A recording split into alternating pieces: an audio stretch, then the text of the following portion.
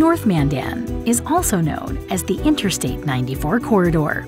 Anchored by Walmart Supercenter, this district receives high visibility and direct traffic from I 94, as well as hotels, restaurants, healthcare facilities, large employers, public schools, year round sports complexes, and an abundance of available acreage. To learn more about Mandan's I 94 corridor, visit cityofmandan.com.